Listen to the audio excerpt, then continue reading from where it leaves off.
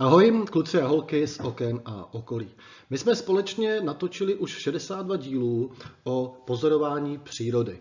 O pozorování přírody na jaře, v létě, teď natáčíme o podzimu, ale poznávat se dá příroda nejenom díky pozorování, ale také díky pokusům. A tak jsem si pro vás připravil úplně novou sérii, nazval jsem ji Pokusy na doma a je koncipovaná tak, že se jedná o pokusy, které může každý z vás dělat doma. Jsou totiž relativně bezpečné a jsou to pokusy s věcmi, které byste doma měli často najít. Pokud by nějaký pokus byl nebezpečný, tak vás na to dopředu upozorním a měli byste si vzít na pomoc rodiče, kteří vás ohlídají.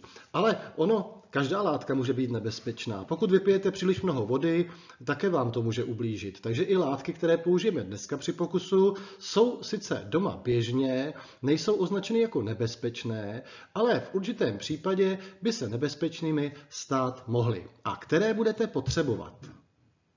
Co budete potřebovat? Dvě sklenice průhledné, lžíci na míchání, obyčejnou vodu z vodovodu, olej, je jedno, jestli bude řepkový nebo třeba slunečnicový, budete potřebovat ten nejobyčejnější ocet a pak potravinářské barvivo. Potravinářské barvivo se prodává v různých podobách, Nejlevnější je eh, v sypké podobě, ale prodává se například i jako gel nebo takový roztok.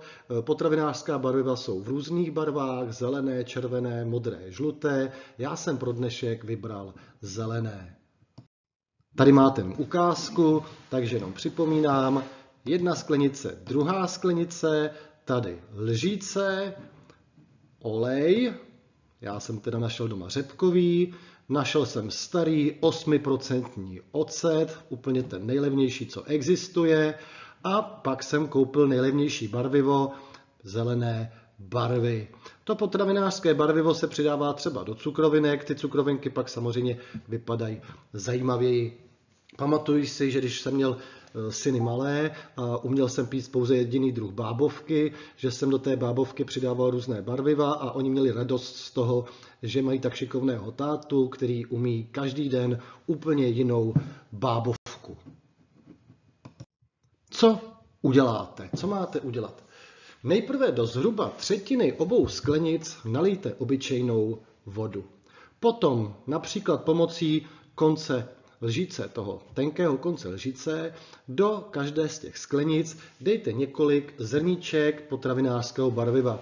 Pokud použijete barvivo, které je třeba v roztoku nebo v gelu, tak stačí přikápnout a na závěr vše rozmíchejte lžící. Takhle máme připravený začátek pokusu. Můžete se podívat na obrázek, takže vidíte, že jsem použil zelené barvivo a stačilo několik zrníček, aby takto tu vodu v té sklenici obarvili. Co dál? Do první sklenice s vodou a s barvivem nalijte trošku octa. Může to být trošku méně, abyste ušetřili než je té vody, ale samozřejmě ideální by bylo, kdyby to bylo třeba půl na půl. Záleží třeba také na tom, jakou máte sklenici. Když použijete sklenici, která je vysoká, bude to tam lépe vidět. Tak a do druhé sklenice nalijte olej, asi stejně, jako jste nalili octa do té sklenice číslo 1. Tak a co se stalo? Teď jste si mohli všimnout, že v první sklenici se ocet smísil s vodou a celý obsah té sklenice se obarvil.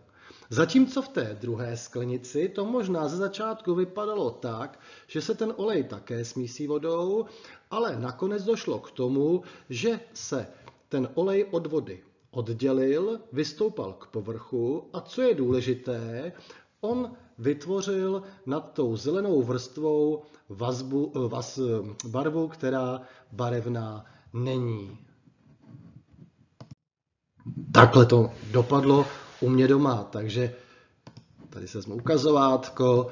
Tady je voda smísená s octem. Vidíte, že se zbarvila nejenom ta voda, ale zbarvil se ten ocet a voda s tím octem se dokonale promísily. Zatímco v tom druhém případě ten olej vystoupal nad hladinu té vody a ještě navíc jsme zjistili, že v tom oleji to zelené barvivo není rozpustné. Co z toho všeho vyplývá? Tak, za prvé, voda a ocet se mísí. To znamená, dají se smíchat v jakémkoliv poměru. Za druhé, voda a olej se naopak nemísí. Za třetí, barvivo, které jsme použili, je rozpustné v octu, ale není rozpustné v oleji. Tak, takže to jsou závěry a pojďme si říct nějaké nápady, jak ten pokus můžete vylepšit.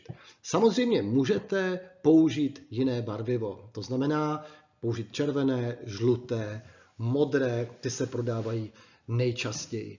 Já vás poprosím, pokud si ten pokus vyzkoušíte, abyste mi ho vyfotili. Já přidám do nějakého z dalších videí ty vaše výsledky. Pokud jste od nás ze školy, tak určitě si na vás vzpomenu, až budeme dělat takovéto závěrečné zúčtování. A jeden takový nápad na příště, abyste ušetřili, nevyhazujte tu sklenici nebo nevylevejte tu sklenici, ve které je voda obarvená s olejem.